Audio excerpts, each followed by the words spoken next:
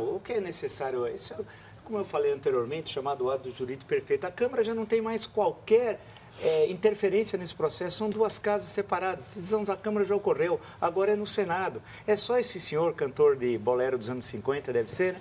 é, que fala isso, mas ele é o incapaz, é o rebotalho, é o lixo.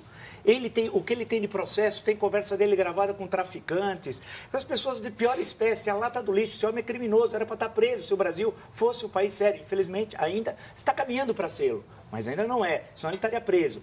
Então, o que aconteceu é que agora está no Senado.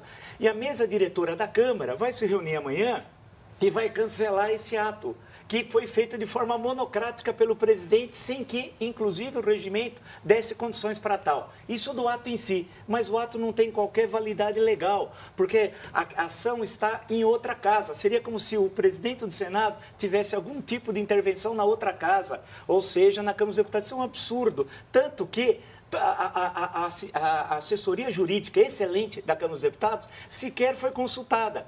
E ao ser consultado informalmente por jornalistas, disse que isso era um absurdo, porque ele foi na AGU. E eu reafirmo aqui, o ministro da AGU, não é porque é professor universitário. Eu, no meu segundo ano de graduação de História, meus colegas, meus amigos e amigas que estudaram comigo, nós tiramos professor titular de uma disciplina, que eu não vou falar qual é, porque todo mundo lembra. No segundo ano, porque era incapaz. Era incapaz. Professor titular da Universidade de São Paulo. Não sabia nada de história. Nada. Zero. Então não é porque é professor universitário, vírgula. E essa ação é criminosa de traidores da pátria. Então, quando a senhora, primeira mandatária, fala em traidor, eu digo que traidor é ela. Ela que é traidora. Eles destruíram o país, jogaram o país numa depressão econômica nunca vista na história brasileira, nunca sem nenhuma crise internacional, como nós sabemos. Nós crescemos zero em 2014, menos 3,8 o ano passado, esse menos 4.